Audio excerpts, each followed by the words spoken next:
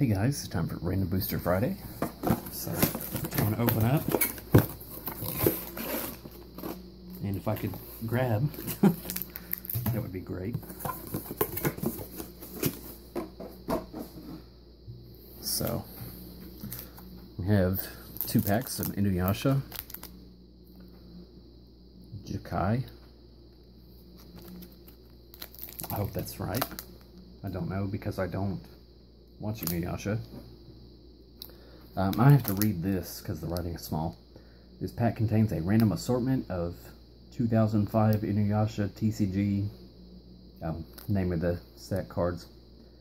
Uh, randomly inserted are the following 45 commons, 6 to 1, 40 uncommons, 3 to 1, 35 rares, 1 in 1 pack, 4 ultra, 1 in 18, 10 subset cards, um, it's really hard to read this, 1 in 6, 2 hidden rares, 1 in 288, 4 promo, Events are not included. Okay, well, that's stupid. Whatever. It's just by score. And uh, we'll go ahead and open it up. And it obviously said 2005, so.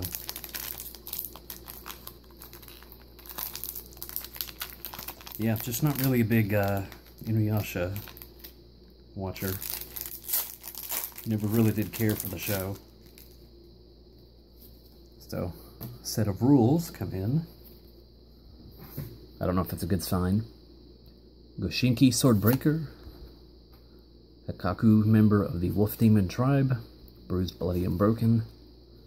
Looking out for you. Naraku's Poison Insects 2. Koharu Miroku's Admirer. Is that all you got? It's a foil. Den of Wolves. Jinenji's Farm. Was I dreaming? So that covers pack one.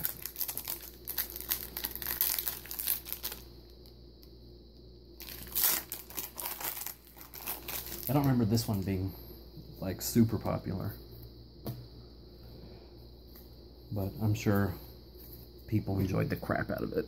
So Kaijinbo, Evil Swordsmith, Flesh Eating Demon Adult, Naraku's Cage, Koga's Jewel Shards, Demonic Anger,